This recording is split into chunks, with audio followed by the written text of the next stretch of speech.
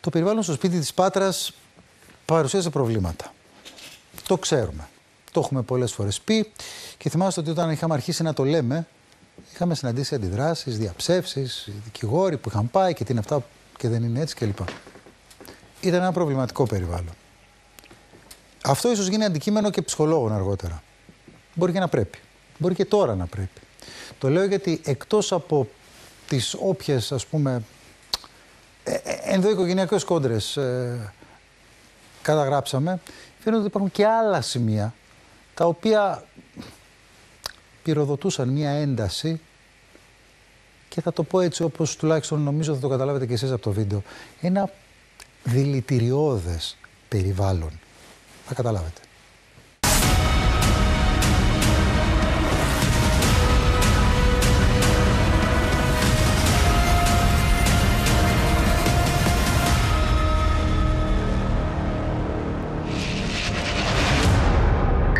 Που μου είπε ότι έχασε ένα παιδί από μάγια. Τίποτα άλλο. Εγώ της είπα δεν είναι μάγια και πρόσεξε γιατί θα έχεις κι άλλες στην οικογένειά σου. Είναι η συγκλονιστική μαρτυρία της χαρτορίχτρας στην οποία απευθύνθηκε η μητέρα των τριών παιδιών για να της λύσουν τα μάγια που πίστευε ότι τι έχουν κάνει. Σύμφωνα με όσα αναφέρει αποκλειστικά στο Live News, η 33χρονη την επισκέφτηκε λίγο μετά το θάνατο της Μαλένας και αυτό που την απασχολούσε ήταν πώς θα ξαναφτιάξει τη σχέση της με τον Μάνο. Ξέρω ότι μου είχε έρθει κάποτε εδώ το 20, το 20, αλλά δεν θυμάμαι ποιο μήνα, όταν είχε χάσει το, ήδη το πρώτο παιδί τη Μαλένα. Το παιδί δεν το ανέφερε σχεδόν καθόλου. Απλά ότι έχασε ένα παιδί από μάγια τίποτα άλλο, δεν την ενδιαφέρει αυτό, την ενδιαφέρει ο Μάνος. Το πρόβλημά της βασικά, αυτό που ρωτούσε ήταν αν θα το ξαναβρει με το μάτι. Η 33χρονη μητέρα, όπως λέει η γυναίκα που τη εκμυστηρεύτηκε τους φόβους της, ήταν πεπισμένη ότι έχασε το πρώτο της παιδί από μάγια που της είχαν κάνει συγγενικά της πρόσωπα. Απλά ότι έχασε το παιδί από μαγεία, ενώ δεν θα πρέπει να το είχε χάσει. Ήταν ένα παιδί υγιέστατο και το έχασε από μαγεία. Έτσι λέω ρουλά, πλακίε μου λες, εγώ δεν βλέπω τέτοια πράγματα, ούτε πιστεύω τέτοια πράγματα. Δεν το δεχόταν αυτό. Η ρουλά δεχόταν ότι όχι, υπάρχει μαγεία και ήταν σίγουρη 100% ότι μπορούσε να τη αλλάξει. Μυαλό τη η ρουλά μου δεν μπορώ να σε βοηθήσω. Αν θέλεις, πήγαινε κάπου αλλού. Και αν πιστεύεις ότι έχεις μαγεία, πήγαινε κάπου αλλού. Πήγαινε στην εκκλησία, πήγαινε σε έναν ιερέα. Σε συγγενικά της πρόσωπα και πήγαινε και σε συγγενικά πρόσωπα. Σύμφωνα με τους ισχυρισμούς της Χαρτορίχτρας, το μοναδικό ερώτημα και αγωνία της Ρούλας ήταν αν και πώς θα τα ξαναβρει με το σύζυγό της, με τον οποίο εκείνη την περίοδο αντιμετώπιζαν προβλήματα. Η Ρούλα ήταν πολύ κλειστός άνθρωπος, ε, εντάξει, πολύ κλειστός, πολύ μαζεμένη, δεν εκφραζόταν εύκολα. Ε, το ερώτημά της ήταν αν θα τα ξαναβρει με τον Μάνο γιατί είχε χωρίσει, αυτό ήταν το θέμα. Ε, τίποτα άλλο. Της είπα ότι θα τα βρίσκουν, ότι θα τα χαλάνε, ότι θα τα βρίσκουν να χαλάνε. Της είπα να προσέξει γιατί έχει θέματα στην οικογένειά της και βλέπω θανάτου. Μάλιστα, όπως λέει, η 33χρονη επιδίωξε να ξανασυναντήσει τη χαρτορίχτρα, αλλά εκείνη αρνήθηκε. Δεν ήθελα να ξανάρθει ρούλα. Κάτι, κάτι δεν μ' άρεσε σε αυτήν την δουλειά. Δεν ήθελα να ξανάρθει. Και δεν ξαναδέχτηκα. Και αρνήθηκα. Τη είπα ότι δεν έχω το χρόνο και αρνήθηκα. Ήταν ψυχρή. Τι να σας πω, είχε μια αρνητική ενέργεια που δεν μ' άρεσε. Την ώρα πάντως που η ίδια 33χρονη φέρεται να αρνείται ότι επισκέφτηκε χαρτορίχτρα μία δεύτερη γυναίκα, αυτή τη φορά καφετζού υποστηρίζει ότι δέχτηκε επίσκεψη από την αδελφή της 33χρονη. Σύμφωνα με όσα λέει η γυναίκα που έλεγε τον καφέ αποκλειστικά στο Live News, η αδελφή της Ρούλας πίστευε και εκείνη σε μάγια και της είχε ζητήσει μάλιστα να τα λύσει. Με είχε ρωτήσει για, για τα μάγια λοιπόν από πού μπορεί να έχουν. Αλλά υπάρχουν. Δεν φαινόταν όμως. Δεν είπα. Και δεν φαινόταν καθόλου που, που μπορεί να ήταν. Όταν είναι μια μαυρίλα το πιτσάλι, δεν μπορεί να το δει. Τώρα αυτό που μένει να αξιολογηθεί από τις αρχές είναι αν ο τρόπος που αξιολογούσε η ρούλα τους θανάτους των παιδιών της και την επανασύνδεση με τον σύζυγό της, επιστρατεύοντας χαρτορίχτρες και καφετζούδες, αποκαλύπτει πτυχές της προσωπικότητάς της που μπορεί να φανούν χρήσιμες στην έρευνα. Κρατήστε πάντως πως άνθρωποι και ας θυμηθούμε την υπόθεση με το βιτριόλι και την ε, κατηγορουμένη και καταδικαστήσα σε πρώτο βαθμό χρησιμοποιούσαν τέτοιες υπηρεσίες ε, μέσα στα αδιέξοδα που είχαν παράξει μόνοι τους στο μυαλό τους. Θα καλησπέρισω τον ε, κύριο Γαλεντέρη, τον ιατρό δικαστή, για να επιστρέψουμε στα επιστημονικά θέματα, σε όλα αυτά τα ερωτήματα που έχουμε. Σε αυτή την ιστορία, κύριε Γαλεντέρη, που πραγματικά ε, εμπρόντιτοι έχουμε μείνει. Δεν ξέρω εσείς σε επίπεδο πια ιατρικό, που φαντάζομαι το αντιμετωπίσετε και εσείς με πολύ μεγάλο ενδιαφέρον. Εγώ δεν μπορώ να βγάλω άκρη προς το παρόν τι γίνεται, αλήθεια. Τα ευρήματα της νεκροτομής από τα πρώτα παιδιά είναι πολύ γενικά. Ε, οι ουσίες οι οποίες αναφέρονται ότι μπορεί να έχουν δοθεί αν είναι φαρμακευτικές ουσίες, δηλαδή μπορούμε να βρεθούν σε ένα φαρμακείο δύσκολα μπορούν να επιφέρουν υπερδοσολογία και να προκαλέσουν ε, ευνίδιους θανάτους. Εκτός και αν είναι κάποια άλλη ουσία η οποία είναι νοσο, νοσοκομιακή, η οποία είναι αρκετά πιο δραστική φυσικά, ή αν είναι κάποιο δηλητήριο σε σχέση με τις τοξικολογικές τις οποίες αναμένουμε. Φυσικά δεν έχω λάβει γνώση των ιστοπαθολογικών της Τζορτζίνα, δηλαδή της τελευταίας νεκροτομή, για να μπορέσουμε να έχουμε περισσότερα στοιχεία. Ε, είναι αδιέξοδο. Αλλά, ε, ε, αντιλαμβάνομαι ότι αν για μας στην αγνιά μας περιγράφεται σαν αδιέξοδο και το λέτε κι εσείς αδιέξοδο, πόσο αδιέξοδο τελικά είναι. Να, να βάλω λίγο τα σημερινά δεδομένα. Το είπατε πριν πάρα πολύ σωστά. Ε, πάμε με αποκλεισμό. Μόνο έτσι μπορούμε να βγάλουμε άκρη. Ναι. Ε, να σταθούμε λίγο σε αυτό το που είπαμε νωρίτερα, το γονιδιακό. Ότι δηλαδή πια αποκλείεται να υπάρχει πρόβλημα γονιδιακό.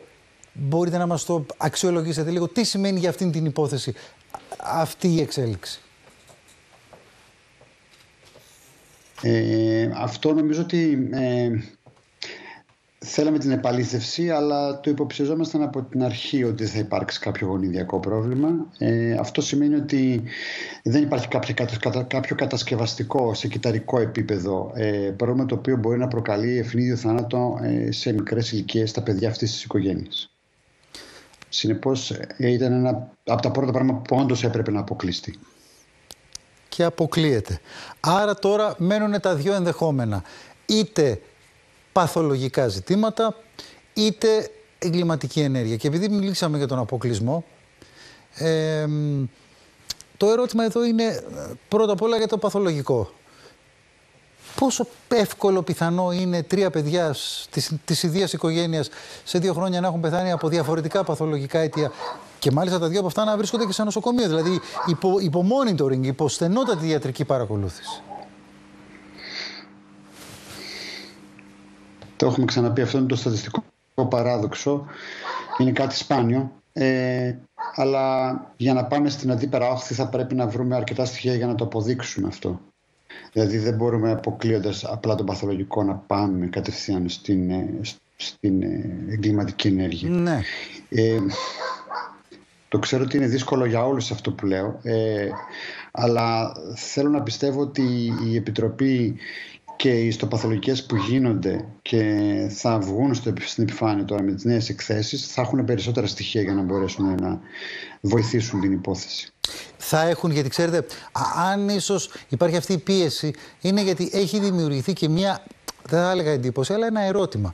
Μήπως κάτι έχει γίνει, επειδή έχει περάσει καιρός που τα δύο παιδάκια τα πρώτα πέθαναν, που ίσως δεν θα αποκαλυφθεί, άρα δεν θα αποκαλύψει και τον δράστη, αν υπάρχει δράστης. Κοιτάξτε, ε, οι ιστοπαθολογικές, επειδή τα, τα τεμάχια τα οποία έχουν ληφθεί για εξέταση ε, συντηρούνται σε ειδικές συνθήκες, από τον νόμο υποχρεούνται τα εργαστήρια να τις συντηρούν σε ειδικές συνθήκες, για τέτοιες περιπτώσεις, για να κάνουμε επανελέγχους, για πολλά χρόνια, συντηρούνται έτσι, ε, θεωρώ ότι θα ξαναμπούν στο μικροσκόπιο και θα ξαναεξεταστούν από την αρχή. Ναι, αλλά φτάνει αυτό. Γιατί ακούω, ας πούμε, ότι. και το λένε συνάδελφοί σας, ότι έχουν βρεθεί στα δύο από τα τρία παιδιά κάποια ίχνη στη μύτη ή στο πρόσωπο, τα έχετε δει.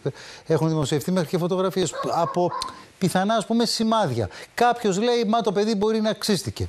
Και μπορεί να ξύστηκε. Κάποιος λέει, Μπα, κάποιος πήγε να του φρέξει το στόμα. Δεν έχει περάσει πολύς καιρός πια για να δούμε αυτά τα πράγματα.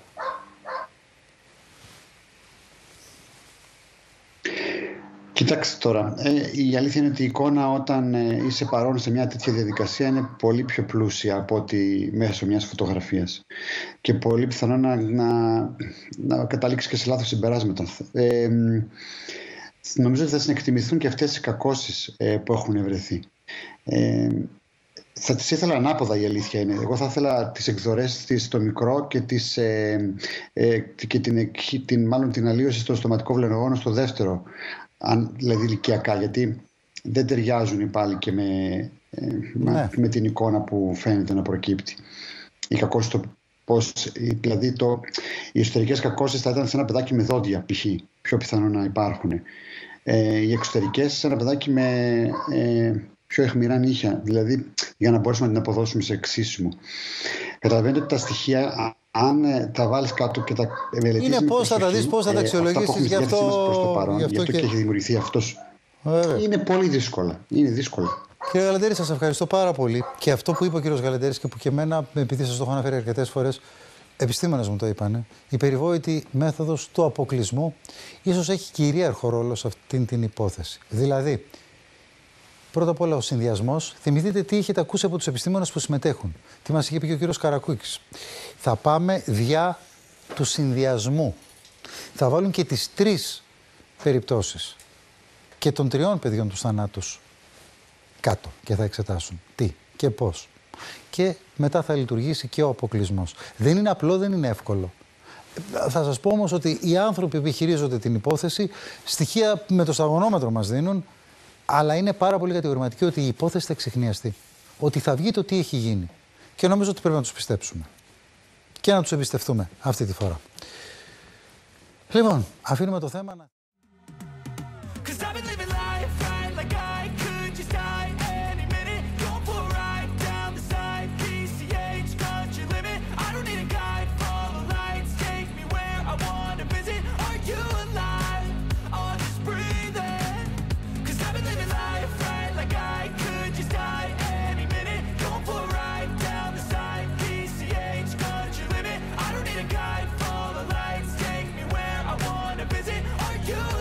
Εννέα στους 10 θανάτους από COVID αφορούν συμπολίτες μας άνω των 60 ετών. Το εμβόλιο μειώνει έως 20 φορές τον κίνδυνο διασωλήνωσης και θανάτου. Εμβολιαζόμαστε για μας και για τους συνανθρώπους μας.